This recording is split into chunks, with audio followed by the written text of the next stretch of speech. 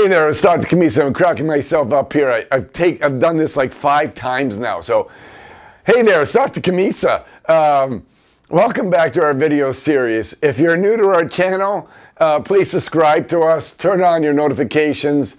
Uh, sometimes best viewed with a glass of wine. Just kidding on that. Um, today I want to just show you a couple pre-post photos of a rotator cuff um, uh, just using shockwave.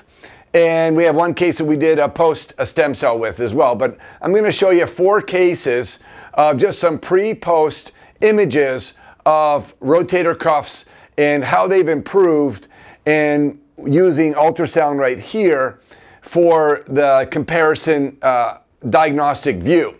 In all these cases was a combination of EMTT, focus, and radial.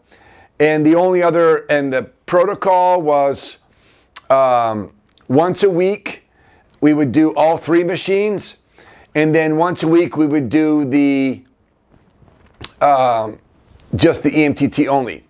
On the stem cell case, because we had a uh, limited time frame, we doubled up Monday, Thursday, all all machines two times a week, and you'll see the remarkable change in a four-week time frame. So I'm going to go through those pictures now.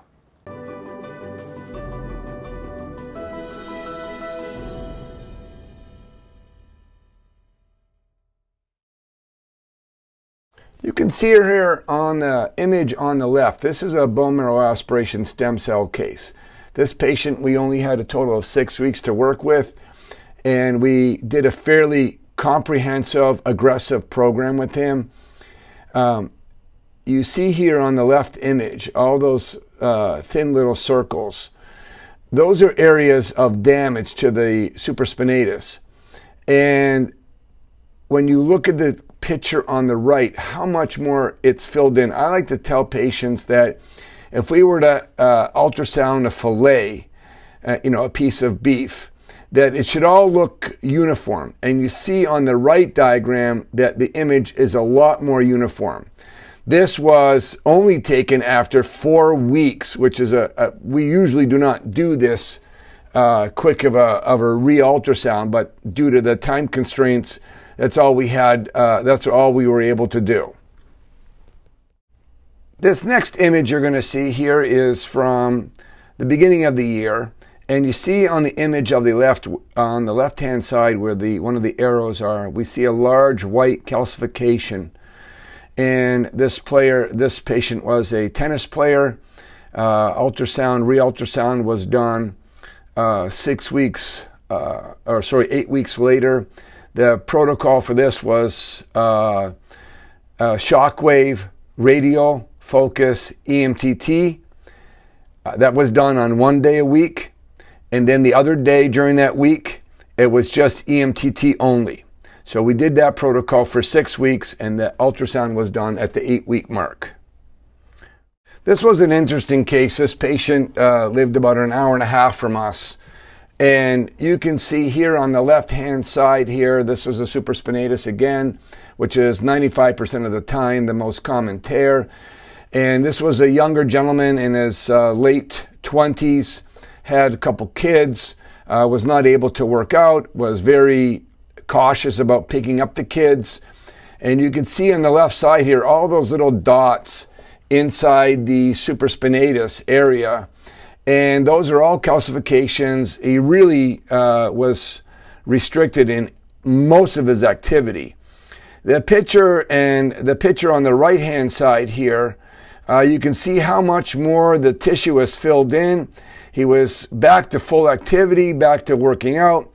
We treated him once a week for eight weeks. The protocol for this was focus unit, radial unit, plus EMTT uh, for eight weeks, and then uh, we redid the uh, pre-post ultrasound here.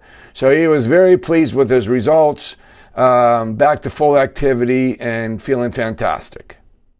This next case here is uh, another supraspinatus case. You can see on the diagram on the, the image on the left um, that the circle and then those uh, the outlined areas. These are all different types of tears in the supraspinatus, and the image on the right, uh, much more. Uh, the shape of it is much more characteristic of a healthier uh, of a tendon. We like to say it's a dolphin coming out of the water. This treatment was uh, once a week with radial focus and EMTT. And then another day during that week is EMTT only. So typically, when they're coming in twice a week, we'll do a full treatment with all three units of shockwave on one day and then EMTT only. I like to do this like a Monday, Thursday. When you look at those pre post images, it's pretty remarkable what this technology can do. When we talk about regenerative therapy, re, regenerating the tissue, getting that tissue to start to grow again and to heal itself. Who are we to say how much the body can really heal? How fast and how much can it heal? And I like to push the envelope. I like to see how much someone can, can handle because some people can handle a lot and heal really fast, and some people need to back it down a little bit. But just looking at those pictures gives you at least some concrete evidence that pre post um, shoulder issues can be resolved uh, with shockwave a lot of the time, but in other cases, uh, we will need to do, depending on the severity of the tear and the severity of the condition of the shoulder, we will need to add either PRP by itself plus shockwave or stem cell therapy plus shockwave. So um, it's, it just gives us another tool in the bag. And the more that we see this, the more confidence we have of, of improving people's lives. So as we empower you to go do the things you want to do, if it's from playing pickleball or picking up your grandkids, without reservation because your shoulders are feeling better, then so be it. So until next time, have yourself a blessed day.